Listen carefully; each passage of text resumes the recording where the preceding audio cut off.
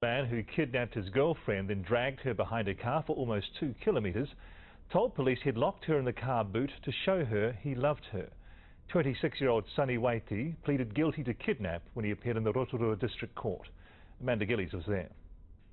Sunny Waiti admitted to police he'd become paranoid after a three-week binge of cannabis and P and had convinced himself his girlfriend was cheating on him, so locked her in the boot of his car and sped off. It was, he said, his way of showing her he loved her.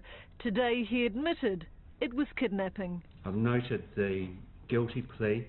You're further remanded through in custody 23rd of August 10am for sentence the interim order for name suppression lapses. You can stand down.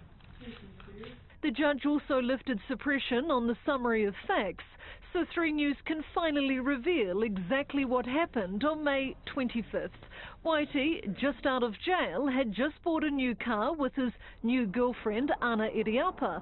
Mid-morning he drove to her Rotorua home. He appeared drunk, paranoid and erratic. He initially made Anna drive to the country, but when they stopped, he picked her up and